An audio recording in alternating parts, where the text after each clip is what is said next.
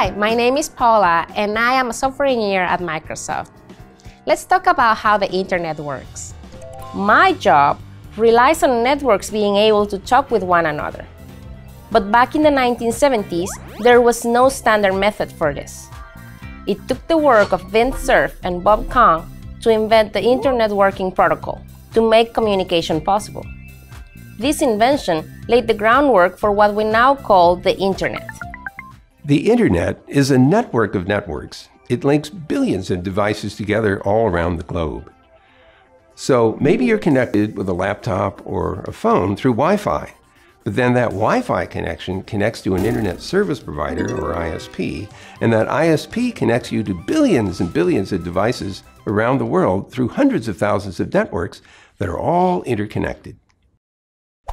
One thing that most people do not appreciate is that the internet is really a design philosophy and an architecture expressed in a set of protocols. A protocol is a well known set of rules and standards that, if all parties agree to use it, will allow them to communicate without trouble.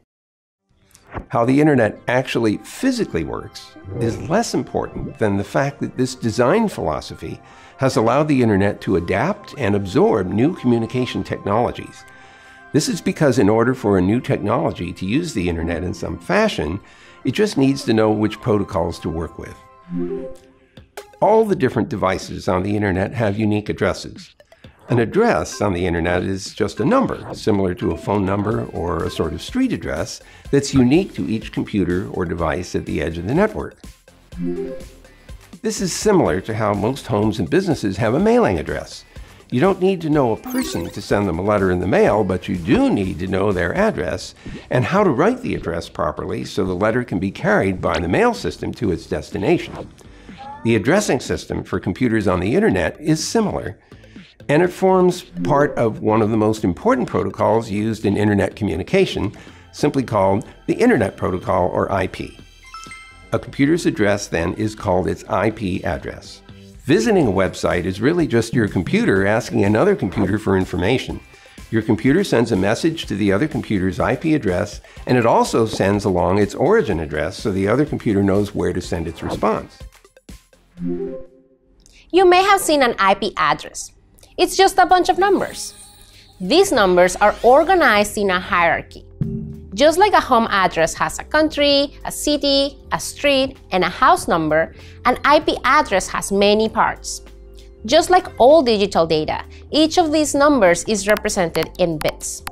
Traditional IP addresses are 32 bits long, with 8 bits for each part of the address. The earlier numbers usually identify the country and regional network of the device. Then come the subnetworks, and then finally the address of the specific device.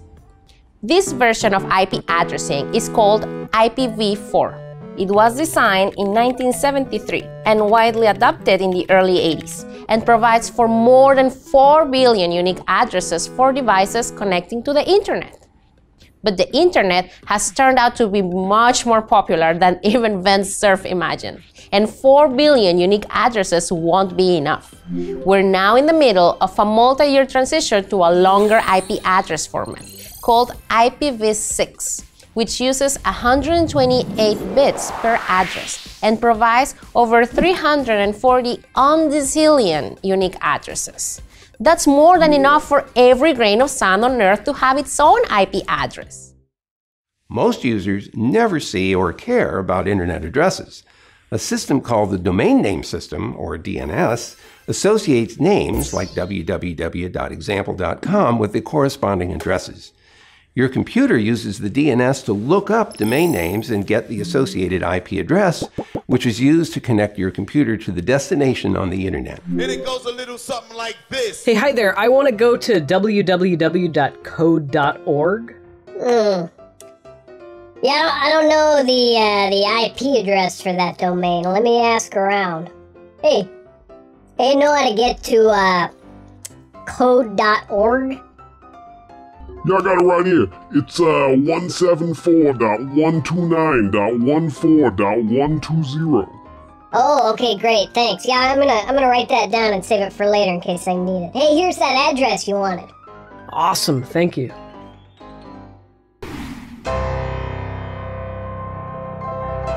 So how do we design a system for billions of devices to find any one of billions of different websites?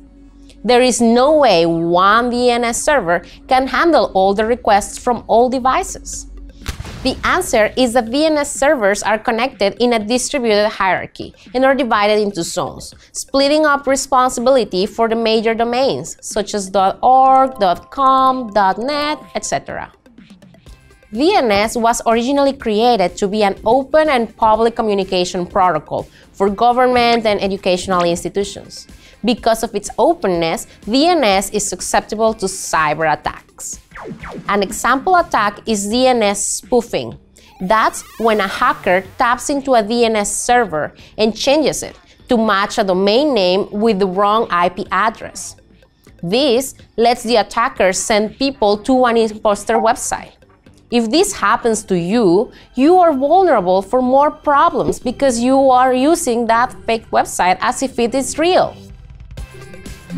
The internet is huge and getting bigger every day. But the domain name system and internet protocol are designed to scale, no matter how much the internet grows.